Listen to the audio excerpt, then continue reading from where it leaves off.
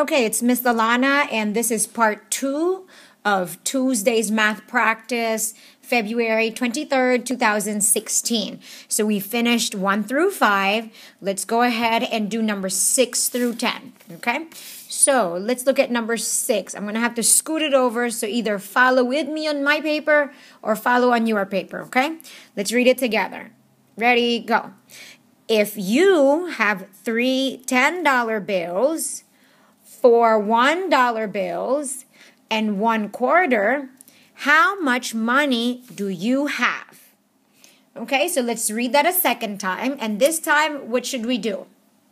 Circle our important details, our important facts and information. Okay, if you have three $10 bills, so I'm going to circle that and underline that. For $1 bills and one quarter, how much do we have? So the strategy we should use is let's draw a picture. Okay, so we have $10 bills. So let's draw three $10 bills. 10 10, and 10. Okay, you see I have three 10, 10, 10, three $10 bills, and I have four what? $1 bills. Okay, so I need to draw some $1 bills. How many do I need to draw? Four. One, two, three, and four. Now, what's this? One quarter. Well, a quarter we know is a coin. How much is a quarter? No, not 10 cents. 10 cents, that's a dime. And then a penny is how much? A penny is one cent. And then which coin is five cents? No, not a quarter. That's a nickel. So a quarter is 25. 25 cents. All right, so do we have, have everything? All right, do we have everything? Yes, three $10 bills, four $1 bills, and a quarter. So let's count the dollar bills together first 10, 20, 30, 31, 32, 33, 34. All right, let's count that again 10, 20, 30, 31, 32, 33, 34. All right, then we have 25. Do we do 34 plus 25? No, because it's $34 and it's 25 cents. So we don't add them together. All right, I'm going to just put my answer right here. How much is that all together? $34 and see we put a decimal point 25 cents. Now when you write money like this, you don't have to write cents there after the 25, okay? We know that when we have the dollar here and the decimal point, that's $34.25. Okay, are we good? All right, let's look at number seven. Number seven says, which choice, read it with me, which choice best represents the length of a baseball cap? Okay, so a baseball cap, okay, no, not a baseball bat and not a baseball ball, a baseball cap. That's a hat. Okay, I'm gonna let me see. I'm gonna draw a hat. Oh, hi, that's Miss Lalana. Oh, look at me. I'm fancy with my hat. Fancy with my hat. Oh, picture looks like my hat is bigger than my head. Oh my.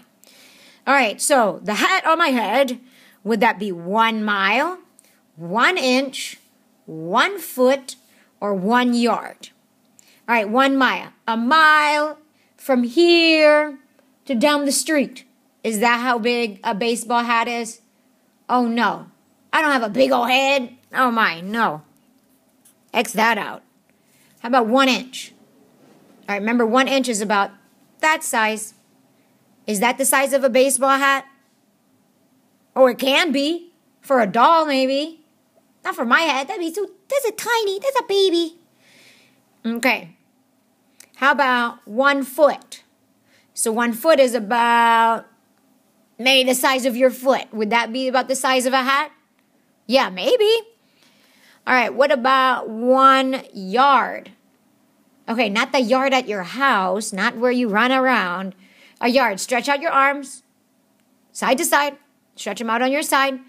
All right, from fingertip on your left hand to the other hand on your right hand. Oh, no, from the left hand to the right hand. Is that how big a hat would be? Oh, no, that's definitely not the size. So, what's the best answer? One inch or one foot? One foot is the best answer. I'm going to cross that out. Okay, let's look at number eight. Okay, read it with me. It says Lana or Lana, maybe Lana. Lana was, it, oh my, it almost looks like my name, like Lana, like Miss Lalana. That's weird. Okay, Lana was playing a video game and had 21 lives. In a hard part of the game, she lost three lives. If she got 43 more lives in the next level, how many lives would she have? Oh my goodness, what kind of game is this? This is a lot of lives. Okay, when I was a kid, there was only three lives, and once you use up your three lives, it's game over. Unless you had a secret code for unlimited lives. Hmm. All right, so let's do the problem. Let's read it again, and this time let's circle important details and information. Lana was playing a video game. Now, you don't have to circle video game. I know that's important to you, but we don't need that to solve the problem. So she first started out with what? 21 lives. Now it says in a hard part of the game, she lost three lives. Now there's a keyword lost. If she lost lives, what would we have to do? Take away. You have to subtract. So let's do that part first. So we start with 21, take away 3. Can I do 1 take away 3? No. So we borrow from this 2, the 2 becomes a 1, that 1 becomes an 11, and 11 take away 3. Let's count from 3. 3 in your mind. Count. 4, 5, 6, 7, 8, 9, 10, 11. How much is that? 8. But if you know 3 plus 8 is 11, you didn't even have to count. And then 1 minus nothing is 1. All right, so 18. Is that our answer? No, because we're not done. Look, there's some more part of the problem. If she got 43 more lives in the next level, how many lives would she have? So now she had 18. First, she started with 21. She lost three, so that's 18. And now she got 43 more. So what do we have to do? Add 43. So we take the 18, and now we do what? Plus 43. Okay, what's 8 plus 3? 8, 9, 10, 11. Oh, look, we did that right there carry the 1 up there. And then we have 1 plus 1 is 2. And then 2 plus 4 is 6. So the answer is 61. 60. Oh, I don't know if you guys can hear that. There's like a train coming by near here. It's so loud. Maybe you can hear it, maybe you can't hear it, but I can hear it. It's kind of loud. All right, 61 what? 61 lives. Oh my goodness, that's a lot of lives. She better finish that game, as many lives as she has. Okay, let's look at number nine. Let's look at these place value blocks. So, what blocks do you see here? We have hundreds blocks. I'm going to write that down. Hundreds blocks. We have tens blocks and ones blocks. How many hundreds blocks do you see? One, how about tens? How many tens do you see? Three. And what about ones? How many do you see? Two. And we put those digits together, and what number do we have? What model is this for? 132. There's your answer right there. Okay, you ready? We are almost done. We are on number 10. Flip my paper.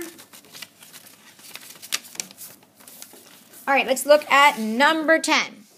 All right, number 10. It says use the graph below to answer the question. Which sport did exactly four people say was their favorite? Okay, so use the graph below. What kind of graph is this? It's a bar graph.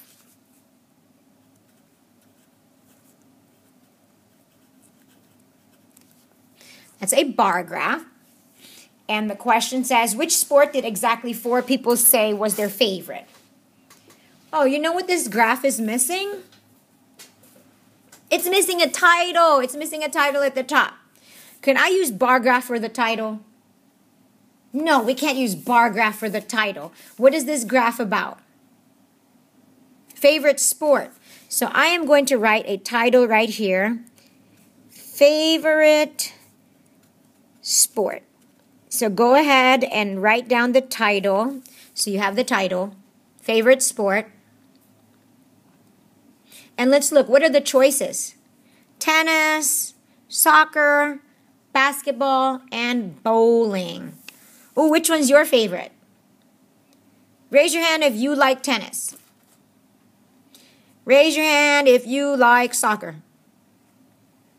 Raise your hand if you like basketball. Raise your hand if you like bowling. Raise your hand if you just like all the sports and you want to play all the sports. Okay, let's see. How many people voted for tennis? Look right there. What's that? Four.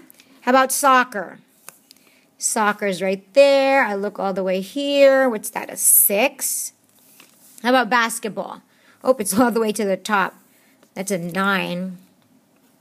Look, that was the favorite one, right? Because it's all the way to the top. What about bowling? Oh, what's that? Seven. So the question said, which sport did exactly four people say was their favorite? That's right. The answer is tennis. So I'm going to write tennis. That's my answer. I'm going to circle it so we can see that. Okay, so we are done with numbers 1 through 10. Now, if you didn't do 1 through 5 or you need to check 1 through 5, go find part 1 of the video. Okay? All right, so we are good to go. I will see you next time.